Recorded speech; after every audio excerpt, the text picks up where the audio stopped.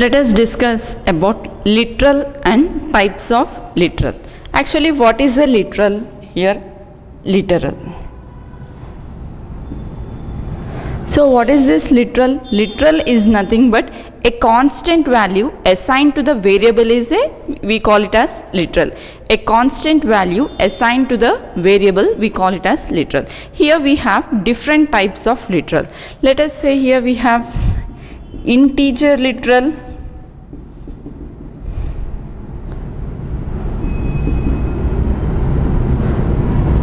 floating literal float literal.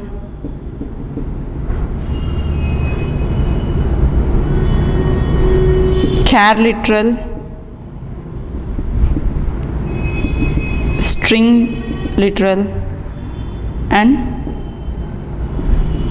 boolean literal. We have here five types of literal. That is integer literal float literal char literal string literal and boolean literal. So when we are going to say integer literal here a data type in the integer literal you can take the data types like short.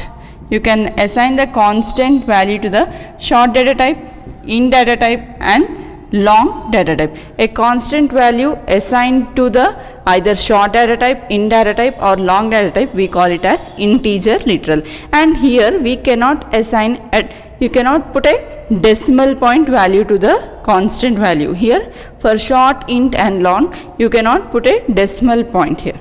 Next one is float literal. In the float literal it includes float data type decimal data type and double data type. Here we can put the normal numeric value and as well as decimal value here. A constant value assigned to the either float data type or decimal data type or double data type we are going to say it as a float literal. And next one is char literal. Char literal it is nothing but a single alphabet enclosed in a single quotes we call it as character literal.